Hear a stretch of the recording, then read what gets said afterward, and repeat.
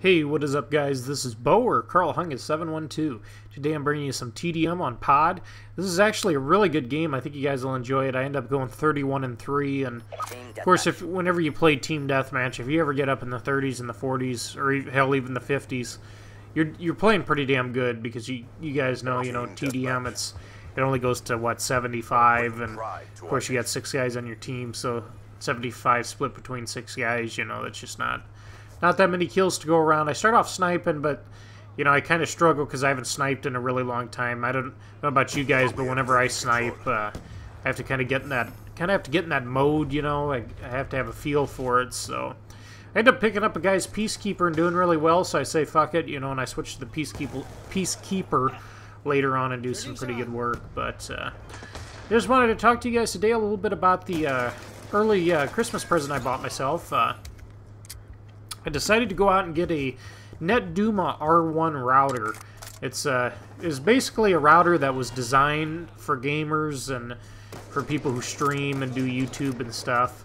Um, it's definitely not just you know don't don't think of it as oh I gotta I gotta be a you know a professional Call of Duty player or something for it or I have to be a YouTuber or something like that for it. You know don't don't think of it that way. It's just it, it's just a really good router. Um, you can set up a VPN on it to, to basically protect you from uh, DDoS attacks. Um, but uh, basically, what you're paying for is it, it, is kind of pricey. So you know, if you're planning on getting one, save up some money like I did. I saved up money for a while and decided to go out and spend spend uh, spend it on myself, get myself an early Christmas present. But I got to tell you, so far I've been really impressed with it. Figured I'd give you guys a little review real quick on that. Um, in case you guys are looking for a better router, or if you if you guys are experiencing some lag issues, if you're experience uh, experiencing playing guys across the country, uh, other parts of the world, uh, this is basically the perfect router for you. Um, basically, what the NetDuma uh, does is it's basically comes with uh, it comes with this really nice software where you can basically control where you're at, where you're playing at, who you're going going to be playing with. Um, and basically set ping uh, statistics and things like that so that you don't have to deal with really laggy lobbies and things like that. Um,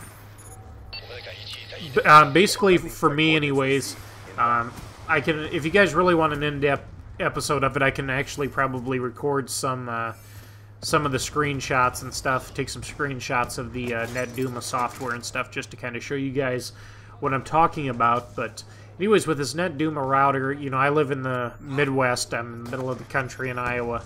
So basically, I can uh, basically the what I set the NetDuma to is everybody within the United States and maybe a little ways into Canada, and uh, I basically don't go out all the way to the coast, but pretty close to it anyways, pretty much to the mountains on each side. So what ends up happening is when I join a lobby, first off, everybody's pretty close to me, so there's you know you're not gonna have too much latency that way. And I also set the NetDuma ups to where it tries to find lobbies that are no higher than 60. The ping is no higher than 60, which just again, uh, uh, most of the time I've heard people say, you know, when your ping's around 50 or lower, so that's when you you basically get your best gaming experience. Of course, you know this is all opinion and everything like that, but. Anyways, it's been a really good setting for me. Uh, you can definitely go lower. You can actually shrink your uh, your area down to basically where you'd only find people in your city. So let's say if you were in a bigger city like New York City or Dallas or, or, or LA or somewhere like that, you could probably set your NetDuma to find only people in the city. Even though it'd probably take you 20, 30 minutes to find a match, you could probably find people who are pretty close and get a pretty leg-free lobby or a pretty, uh, pretty clean connection, in other words. But uh, I just kind of wanted to give you guys a quick update on that.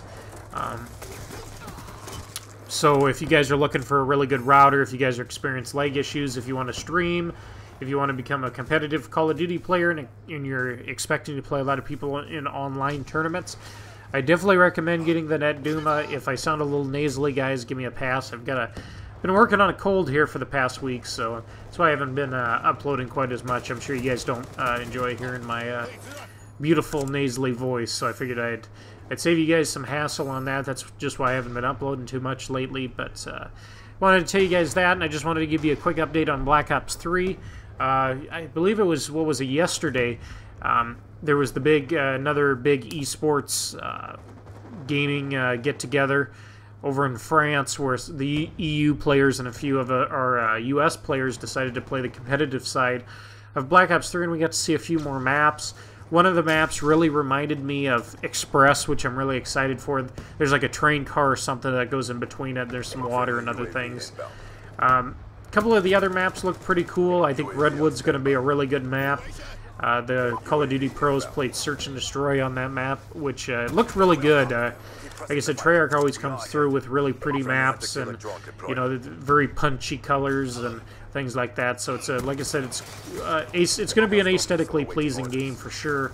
Um, the uh, the sniper rifle, I just love the crack and the snap of that when you when you hear that being shot. I mean, it's, it's really meaty. It gives you that feeling like you're really you're really doing some damage. Which, course, these are all just really little things. But when you're making a video game, you know that's that's uh, that really helps the experience. You know, or it really has with me, anyways. Um, that's one of the things I also hated with Advanced Warfare. I think the guns sounded like uh, uh, popcorn farts or something like that. I mean, they just they didn't. The game did, didn't sound good. It looked good. It just didn't didn't play out well or didn't sound good. But just wanted to give you guys an update on NetDuma on the NetDuma R1 router if you guys are interested in buying that, and just some Black Ops 3 information. Definitely come check out my channel when that comes live. Junior and I are going to try to try to do a 12-hour stream that night. So, anyways, I hope you guys enjoyed the video. We'll see you next video, and bow out.